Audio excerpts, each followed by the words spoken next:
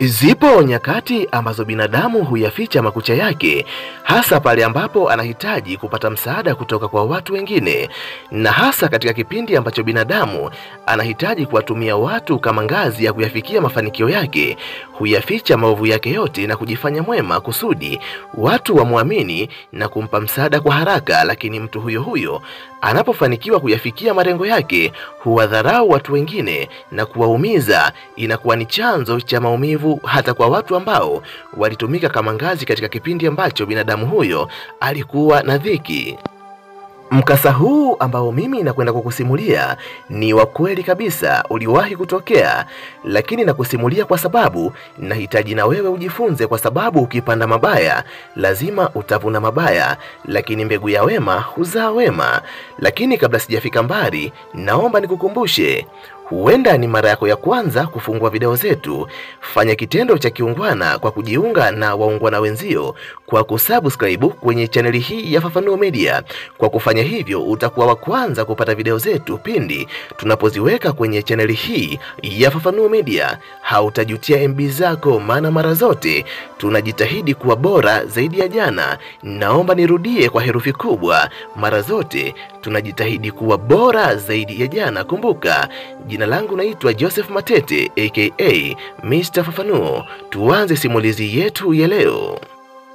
Dennis ni kijana ambaye wakati upo shule ndoto yake kubwa ilikuwa ni kuja kuwa daktari mkubwa sana ndani ya nchi ya Tanzania. Hivyo ilimlazimu kuweka juhudi kubwa katika masomo ya sayansi, huku akiendelea kuishi ndani ya ndoto yake kwamba siku moja aje kuwa daktari bingwa katika taifa lake la Tanzania. Hivyo Dennis akasoma kwa juhudi sana, na kutokana na ufaulu wake mzuri miongoni mwa vijana wachache ambao waliajiriwa, hata Dennis pia aliajiriwa. Mshahara mzuri ambao alikuwa akipokea denisi baada ya kuajiriwa haukumfanya abweteke. denisi akaenda kusomea masomo ambayo ni ya kibobezi, yani akaenda kubobea katika masuala ya macho, kwa sababu lengo pamoja na ndoto za Dennis zilikuwa ni siku moja aje kuwa daktari bingwa wa macho, kwa sababu tayari alikuwa ameajiriwa. Hivyo denisi akaamua kwenda kujiendeleza katika masuala ya macho, na kweli alifanikiwa kumaliza na hapo Dennis akawa daktari bingwa wa matibabu ya macho, na kwa sababu ilikuwa ni ndoto yake ya siku nyingi, na kila binadamu huwa anafurahi pale ambapo anatimiza malengo yake. Hata kwa Dennis haikuwa tofauti na binadamu wengine, yeye pia alifurahi sana, kwa sababu ndoto ambayo amekuwa akiiota siku nyingi imekuja kuwa kweli. Sasa hivi Dennis ni mbobezi katika matibabu ya macho, hivyo ni daktari bingwa. Masaa yalizidi kwenda, ikawa siku, ikawa wiki na ikawa miaka. Dennis akazidi kuwa maarufu kazini kwa sababu alikuwa na weredi mkubwa sana katika utendaji wake wa kazi, jambo ambalo lilipelekea watu wengi sana kumpenda Dennis kwa sababu alikuwa anaifanya kazi yake vizuri sana. Siku moja Dennis alikuwa anatoka kazini na anaelekea nyumbani, ambapo pembeni ya barabara alimkuta mwanamke akiwa analia, kwa sababu Dennis alikuwa ni kijana mwenye huruma sana kwa binadamu wengine. ili mradhimu kusimamisha gari lake na kushuka kwenda kuonana na yule mwanamke. Ni jambo gani ambalo lilikuwa linamfanya aliye Ni jambo ambalo Dennis alitamani sana kulijua. Dennis alipoteremka kwenye gari alimuuliza maswali mengi yule mwanamke ambaye alijitambulisha kama Regina. Regina alimweleza Dennis kuwa yeye ni binti ambaye amezaliwa katika familia ambayo yeye ni binti wa pekee, lakini pia familia yake ni familia duni na wazazi wake ni wazee sana kiasi kwamba hawawezi kumudu mahitaji yao ya kila siku. Hivyo kijijini alikuja bosi mmoja ambaye alimuahidi arejina kumtafutia kazi mjini, ambapo alimbeba mjini, lakini alipomfikisha mjini haikuwa kazi tena, bali alimtaka Regina ajiuze, kwa sababu yule jamaa yeye alikuwa akiwachukua wanawake wengi vijijini na kuwaleta mjini kwa lengo la kuja kuwauza, huku akiwaambia kuwa atakuwa akiwalipa mshahara kila mwezi. Kwa kuwa Regina hakuwa tayari kufanya shughuli hiyo, hivyo yule bosi alimtimua Regina na pengine alimtishia hata kumuua kama angeitoa siri hiyo kwa watu wengine. Dennis akamwonea huruma sana Regina ambaye alionekana macho yake yote yamefunikwa na machozi, hata sura yake ilikuwa inaonekana ni kama amekata tamaa kabisa kwa sababu ya yale mambo ambayo alikuwa anayapitia. E, kwa kuwa Dennis ni kijana muungwana asingeweza kukubali kumwacha binadamu mwenzie anateseka katika hali ile, hali ya kuwa yeye anaweza kumsaidia. Ndivyo ilivyokuwa. Dennis akaamua kumsaidia Regina, akamwambia asahau kila kitu kwa sababu yeye ana nyumba kubwa, kwa hivyo atampeleka nyumbani kwake na atamstiri kwa siku kadhaa kabla ya kumrejesha nyumbani kwao. Regina akafurahi sana kwa sababu aliupata msaada katika kipindi ambacho hakutegemea kama kuna binadamu ambaye angeweza kumsaidia, ingawa bado Regina alikuwa hana uwezo wa kumwamini binadamu mwingine, kwa sababu je, ingekuwaje kama na Dennis angekuwa kama yule bosi wake wa mwanzo ambaye alimuahidi kwenda kumpa kazi, kumbe anampeleka kumuuza, ingekuwaje? Lakini kwa kuwa hakuwa na chaguo, ilimlazimu tu kumwamini Dennis. Lakini kumbe kweli Dennis alikuwa ni kijana muungwana.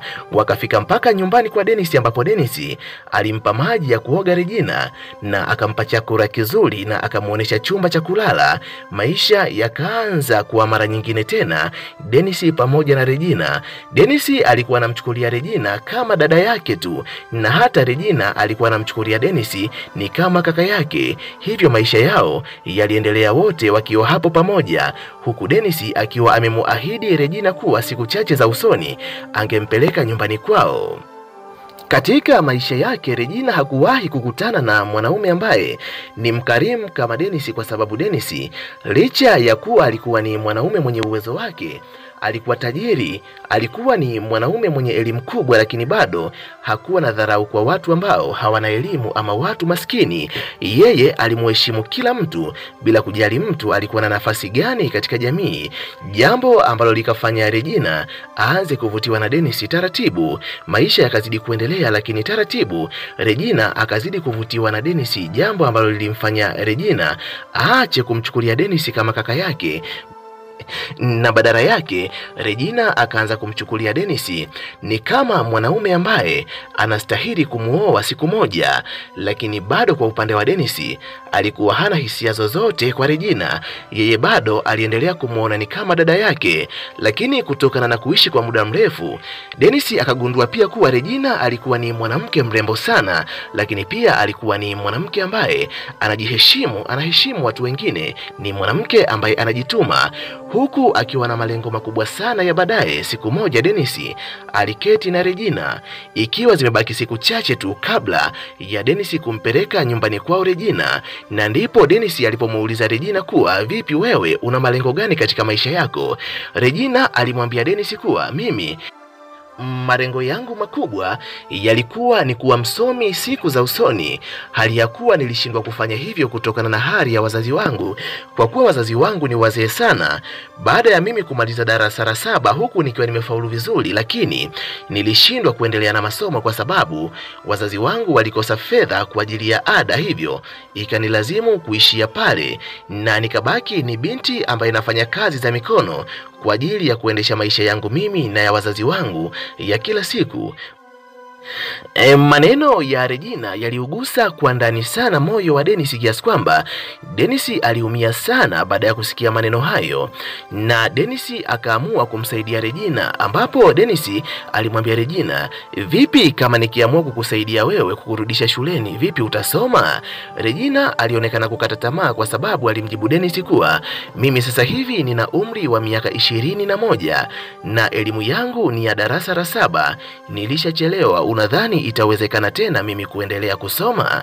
Dennis akamwambia Regina kuwa unaweza, yapo masomo ambayo ni maalum kwa ajili ya watu wazima, ambapo unaweza kusoma kidato cha kwanza mpaka kidato cha nne kwa miaka miwili tu. Yani utapofanya mtihani wa kidato cha pili ukafaulu, itakulazimu kwenda kufanya mtihani wa kidato cha nne kufaulu, na hayo yote unaweza ukayatimiza ndani ya miaka miwili tu, inategemea na wepesi wa akili yako. Hapo a, kwa mara nyingine tena Regina akapata moyo ambapo akamwambia Dennis kuwa anaweza, kama ni hivyo inawezekana kabisa.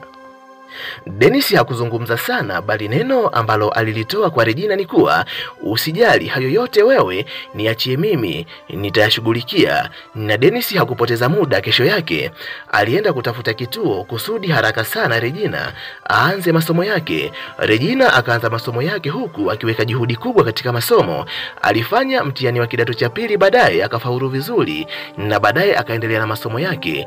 Baadaye alikuja kufanya mtihani wa kidato cha nne pia akafaulu vizuri, na hapo akaendelea na masomo ya A level. Alifanya hivyo hivyo katika elimu ya watu wazima, ambapo Regina alionyesha uwezo mkubwa sana katika ufaulu ambapo Regina ufaulu wake wa elimu yake ya kidato cha sita ulikuwa ni division 1. Dennis alifurahi sana kwa sababu aliona hapotezi fedha zake kumsomesha mwanamke ambaye ni mjinga, bali anamsomesha mwanamke ambaye anajitambua. Hivyo ilikuwa ni furaha ya Dennis kuona namna ambavyo Regina alikuwa akifaulu vizuri katika masomo yake. Lakini wakati hayo yote yanaendelea, bado fikra za Regina zilikuwa ni juu ya Dennis. Regina alitamani siku moja Dennis aje kumto ngoza lakini bado Dennis aliendelea kumchukulia Regina ni kama dada yake tu. Lakini kwa upande wa Regina, yeye akawa anaendelea kuteseka, akawa anajiuliza maswali mengi, na ikafikia akahisi labda endapo atamweleza Mr. Dennis kuwa anampenda, huenda Mr. Dennis atakasirika na huenda hata msaada ambao anampa wa kumsomesha huenda akausitisha. Lakini kwa sababu mateso yalizidi, Regina akaona ni vema amweleze Dennis, ambapo E, siku hiyo ilimlazimu Regina anywe pombe kwanza, hali ya kuwa ni binti ambaye hakuwahi kunywa pombe kwa sababu alikuwa anateseka sana. Siku hiyo alikunywa pombe, kisha akaomba aonane na Dennis, kisha Dennis akatenga muda wake baada ya kutoka kazini, muda ambao Regina alimtaka wazungumze. Kwa sababu Regina hakuwa mwanamke jasiri sana, ilimlazimu kutumia kilevi kusudi apate ujasiri. Siku hiyo Regina akaamua kumweleza kila kitu Dennis, akasema liwalo na liwe. Kumbuka hata kwa upande wa Dennis alikuwa tayari ameshaanza kuvutiwa na Regina, kwa sababu Regina alikuwa ni mwanamke mrembo sana. Alikuwa ni mwanamke ambaye hakuna mwanaume rijali ambaye anaweza kumtizama asigeuze shingo yake kuendelea kumtizama. Alikuwa ni mwanamke mrembo haswa, lakini Mr. Dennis alishindwa kumtongoza Regina kwa sababu alihisi pengine Regina angehisi kuwa Mr. Dennis anamfanyia hivyo kwa sababu anamsomesha. Hivyo kwa sababu Dennis ni kijana ambaye anajiheshimu sana ilibidi asitishe zoezi lake la kumtongoza na awe mvumilivu tu, lakini alijiahidi yeye mwenyewe siku ambayo Regina atatimiza malengo yake, siku ambayo atamaliza masomo yake, basi ni siku ambayo Mr. Dennis angemtongoza. Lakini siku hiyo Mr. Dennis wakati amerudi nyumbani kwa ajili ya mazungumzo na Regina, hapo Regina akamweleza kila kitu Dennis. Dennis hakuwa na pingamizi, ingawa wote walikubaliana kuwa siku ambayo Regina atamaliza masomo yake yote ni siku ambayo watakuja kuoana. Lakini kabla ya hayo yote kuendelea, Dennis pamoja na Regina walielekea kijijini kwa kina Regina, ambapo wazazi wa Regina walifurahi sana kwa sababu walimwona Dennis ni kama malaika ambaye amekuja kuokoa maisha yao. Kumbuka wazazi wa Regina walikuwa ni masikini sana. Kwa hivyo baada ya kupata ujio wa mgeni yule mwanaume ambaye alionekana amefanikiwa sana kimaisha, lilikuwa ni jambo la faraja sana kwa wazazi wa Regina, hasa kwa misaada ambayo walianza kuipata tangu siku ambayo Regina alitongozana na Dennis, na kila mtu akatambua kuwa wale walikuwa ni wachumba. Kwa hivyo waliweka ahadi ya kuja kuoana siku ambayo Regina akimaliza masomo yake ya chuo kikuu. Ikawa hivyo, huku kila mmoja akitambua kuwa Regina pamoja na Dennis ni mtu na mchumba wake. Regina aliendelea na masomo yake ya chuo kikuu. Regina akamaliza masomo yake huku bado msaada wa Dennis ukiendelea kuchukua nafasi yake katika maisha ya Regina pamoja na wazazi wake. E, kwa kuwa siku zote Dennis huwa ni kijana ambaye anafurahi sana pale ambapo Regina anakuwa ni mwenye furaha. Basi siku ambayo Regina alikuwa anamaliza elimu yake ya chuo kikuu, aliamua kumfanyia jambo ambalo kwa namna moja au nyingine lilimshangaza kila mtu. Ndani ya kijiji ambacho wanaishi wazazi wake na Regina, alijenga nyumba kubwa kwa siri. Kisha siku ambayo Regina alikuwa akimaliza elimu yake ya chuo kikuu, alimchukua Regina pamoja na wazazi wake, kisha akaenda kuwazawadia nyumba ile. Kumbuka maisha ya wazazi wa kina Regina yalikuwa ni kwenye nyumba ndogo ya nyasi, lakini sasa hivi Dennis aliwajengea nyumba kubwa kisirisiri, kisha akawapa kama zawadi. Wazazi wake na Regina walimwombea maisha marefu sana Dennis, huku wakimwona ni kama maraika ambaye amekuja kuyaokoa maisha yao. Walifurahi sana, na kisha baada ya hapo ndoa ikafungwa kati ya Regina pamoja na Dennis, huku wazazi wa Regina wakilia kwa furaha kwa sababu hawakuwahi kutegemea kama siku moja angejitokeza mtu ambaye angekuja kubadilisha kila kitu katika maisha yao. Huo ukawa ni mwanzo wa maisha ya furaha katika maisha ya wazazi wa Regina pamoja na Regina mwenyewe, na wote wakamwombea maisha marefu sana kijana huyu ambaye amekuja kuwa ni kama mokozi wa maisha yao, yani Dennis. E, kwa sababu Dennis na Regina walikuwa wamefunga ndoa, hivyo walikuwa ni mke na mme halali kabisa. Hivyo wote waliendelea kuendesha maisha yao, huku kila mmoja akifurahia mahusiano ambayo walikuwa nayo kwani walikuwa ni watu ambao wanapendana sana. Mara nyingi sana Regina alikuwa akilia, na hata Dennis anapomuuliza kwa nini unalia, ana, anajiuliza ni kitu gani ambacho anapaswa kumlipa Dennis, kwa sababu Dennis amekuwa ni mtu muhimu sana katika maisha yake, na huwa anafikiria hivi, ile siku asingejitokeza Dennis na kumuokota hivi ingekuwaje? Anapowaza hayo, mara zote Regina amejikuta akitoa machozi, kwa sababu mwanaume ambaye alijitokeza na kumsaidia ndiye mwanaume ambaye amebadilisha kila kitu katika maisha yake yeye na maisha ya wazazi wake, na hata katika upande wa furaha ni mwanaume ambaye ameileta furaha katika maisha yake yeye, hata katika maisha ya wazazi wake. Amekuwa ni mwanamke ambaye anajiuliza sana, hivi ingekuwaje kama siku ile asingetokea Dennis, mwanaume ambaye ndiye anayemtizama kama mume wake kwa sasa. Maisha yakaendelea, siku nyingi zikapita, miezi kadhaa ikapita, hatimaye matokeo ya chuo kikuu yakatoka, huku uh, ufaulu wa Regina ukiwa ni mzuri sana. Baadaye Regina aliomba katika maeneo mbalimbali kazi, na baadaye baada ya majina kutoka, yeye pia jina lake likatoka akiwa amepata ajira kama muhandisi, kwa sababu alisomea masomo ya uhandisi.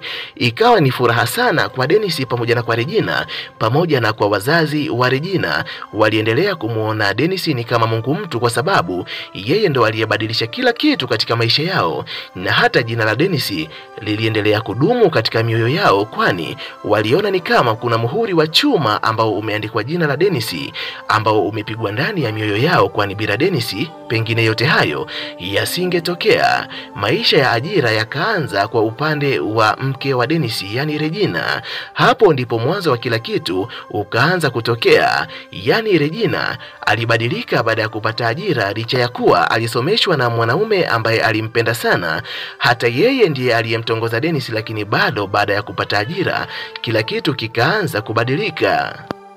Mwenendo wa Regina ulianza kuonekana tofauti siku ambapo gari lake lilipata matatizo, hivyo alihitajika fundi wa kuja kurekebisha gari lake. Gari lake lilichukuliwa na kupelekwa gereji. Hapo Regina alihitaji usafiri ili aelekee nyumbani.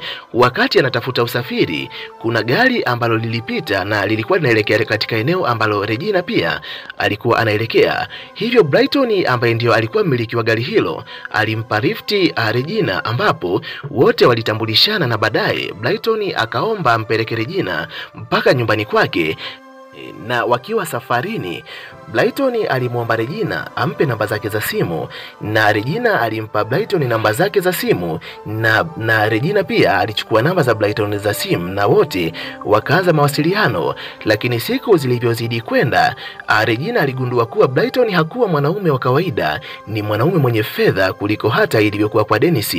Hivyo mwenendo wa Regina ukaanza kubadilika taratibu, kwa sababu alijua kabisa mwanaume ambaye huwa anazungumza naye kwenye simu ni mwanaume tajiri sana. Ni kweli uh, Brighton alikuwa ni mwanaume mfanyabiashara mkubwa sana katika nchi hii, ambapo kwa namna moja au nyingine aliamua kumtongoza Regina na mahusiano yao yakawa kwa siri sana, hata katika wakati ambapo Regina wakati mwingine alikuwa anaaga anaenda kazini, kumbe hata kazini pia. Alikuwa ametoa taarifa kuwa anaumwa, na mwisho wa siku safari yake. Iliishia kwa Brighton, mwanaume ambaye alikuja kuyaharibu kabisa maisha yake. Brighton alikuwa akimpa vizawadi vya mara kwa mara Regina na mwenendo wa Regina hata nyumbani kwake ukawa tofauti, ambapo Regina akaanza kuzionyesha dharau za wazi kwa mwanaume wake ambaye amemtoa mbali, yani mume wake wa ndoa ambaye ni Dennis. Baada ya Dennis kuona mwenendo wa Regina umebadilika, hakutaka kumhukumu Regina moja kwa moja, bali alianza kufanya uchunguzi aweze kubaini ni sababu gani ambayo imepelekea Regina kubadilika namna ile. Lakini tabia ya Regina ikazidi kubadilika zaidi, akawa ni mwanamke mwenye kiburi, kwa sababu tayari alikuwa kwenye mahusiano na mwanaume mwingine ambaye anaonekana ni tajiri kuliko Dennis, na akaanza kujisahau kuwa Dennis amemtoa wapi. Hapo Dennis kila alipokuwa anamuuliza kwa nini unakuwa hivi, aliambulia majibu mabaya sana, na akawa anajiuliza ni nini hasa sababu ya Regina kubadilika na kuwa mwanamke wa ajabu kiasi hiki. Hata siku ya birthday ya Regina, Regina alipewa zawadi ya gari na Brighton, jambo ambalo lilimchangaza sana Dennis, tena gari ambalo pengine hata Dennis mwenyewe hana uwezo wa kulinunua, jambo ambalo lilipelekea Dennis aanze kujiuliza maswali mengi sana, lakini bado Dennis hakuhitaji kumhukumu Regina kwa sababu bado hakuwa na uthibitisho wa aina yoyote, ingawa tayari kuna maneno ambayo alikuwa ameanza kuyasikia kuwa mke wake anatoka na tajiri mkubwa sana katika mtaa wao, jambo ambalo kwanza hakutaka kuliamini kwa sababu anaamini kabisa Regina ni mwanamke ambaye huwa anajiheshimu mara nyingi, hivyo hakutaka kuendelea kuamini rumasi za watu wengine, hivyo akawa ni mwanaume ambaye mara zote anajipa moyo labda Regina atabadilika kesho, lakini bado haikuwa hivyo. Wakati hayo yote yanaendelea, wahenga waliwahi kusema kuwa mlango mmoja wa baraka unapofunguliwa, milango mingine mingi ya baraka huwa inafunguka.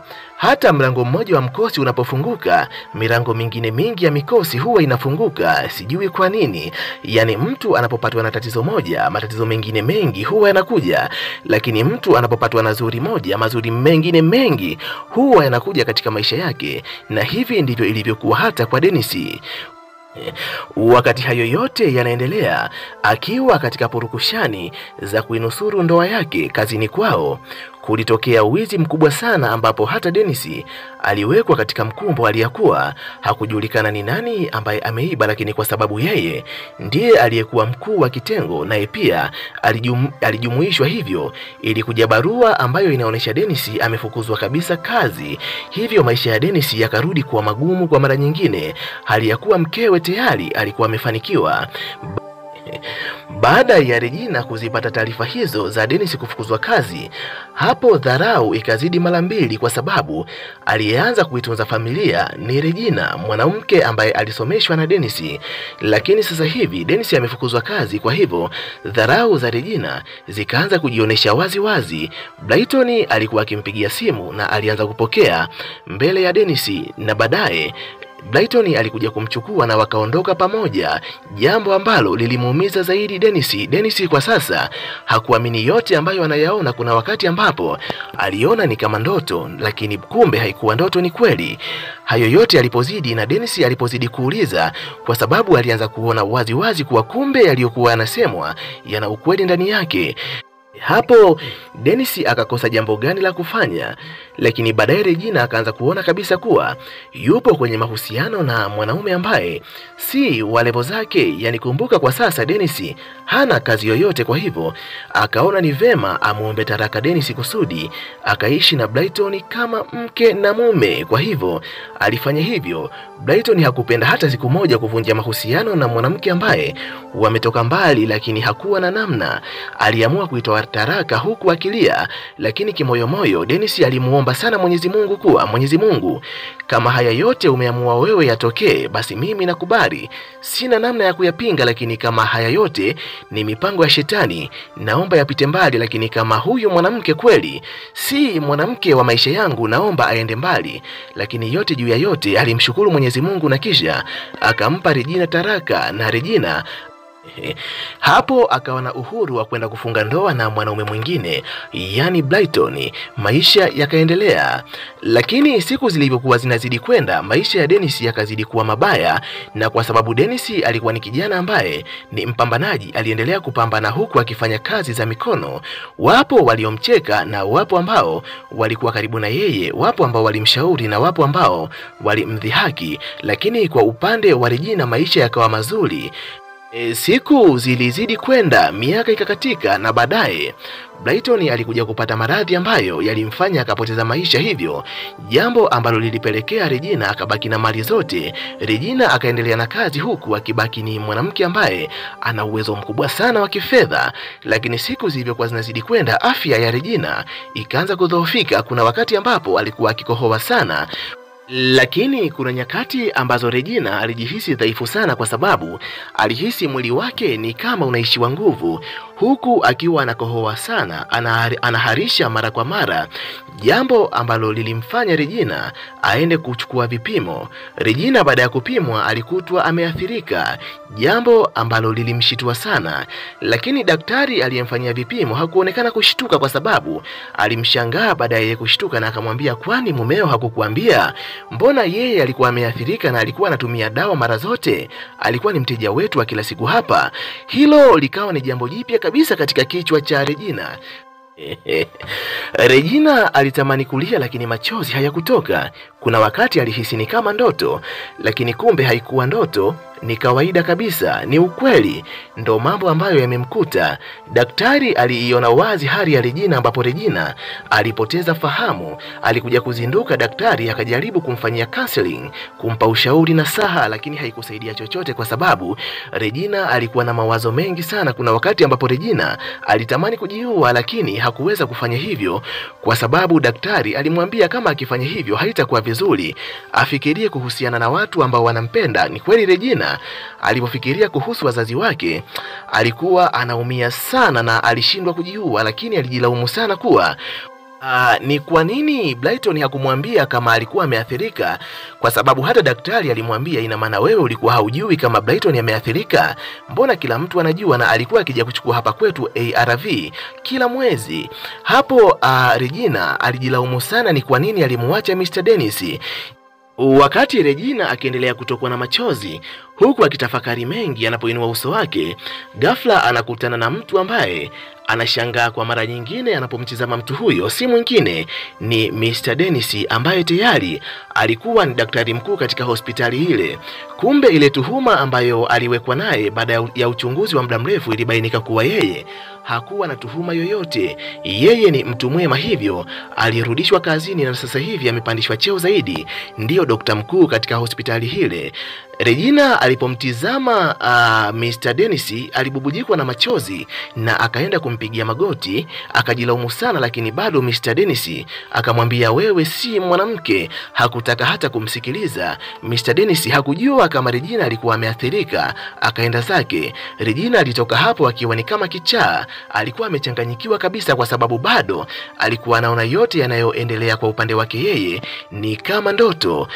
Regina alikuwa akitembea barabarani huku mawazo yake yote yakiwa ni katika ugonjwa ambao yupo nao, kitendo ambacho kilipelekea asiwe makini barabarani, na kwa bahati mbaya Regina aligongwa na gari. Regina alipopelekwa hospitali, iliamuliwa akatue miguu yake yote miwili kwa sababu ilikuwa imeumia sana. Sasa hivi Regina amekuwa mlemavu huku akiwa ameathirika. Regina akawa ni mwanamke ambaye anapitia mabaya, anapitia magumu, na hii yote ni kutokana na mabaya ambayo ali, alimlipa yule mtu ambaye alimtendea wema siku za zamani. Dennis alipomuuliza maswali mengi, daktari ambaye alimhudumia Regina alimweleza kila kitu, na hapo sasa Dennis alimwonea huruma sana Regina, lakini hakuwa na jambo la kufanya. Na sasa kila mtu alikuwa akimtenga Regina kwa sababu alikuwa ni mlemavu, lakini pia alikuwa ameathirika. Mwili wa Regina ukadhoofika sana, akakosa msaada, akawa ni mwanamke ambaye amepoteza matumaini kabisa, mwili wake ukaisha kabisa, na hata kuna wakati ambapo alikosa mtu wa kumsaidia, marafiki zake wote wakamkimbia, nguo zake zikawa hazifuliwi. Kwa hivyo Regina, sehemu ambayo alikuwa akilala ikawa mpaka inatoa harufu, kwa sababu nguo zake zilikuwa chafu sana.